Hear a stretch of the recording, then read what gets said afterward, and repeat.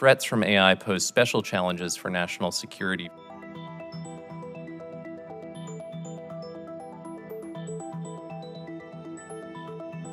The technologies are driven by commercial entities that are frequently outside our national security frameworks.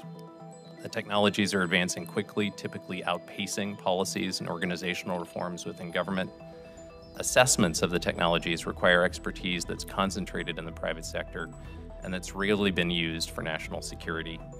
And the technologies lack conventional intelligence signatures that distinguish benign from malicious use, that differentiate intentional from accidental misuse, or that permit attribution with confidence.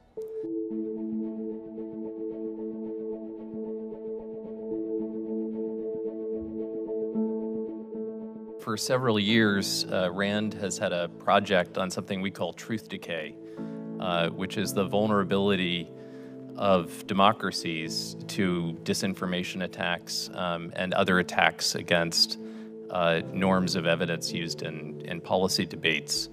Uh, one concern that, that we've had for, for several years is that the application of AI to disinformation uh, campaigns could radically reduce the costs and increase the scale and speed of text and speech potentially that's used in, in disinformation in ways that are very difficult to distinguish from human generated forms of text and speech. I think one important area uh, is in research on distinguishing uh, uh, generative model text and speech compared to ones that are authentic.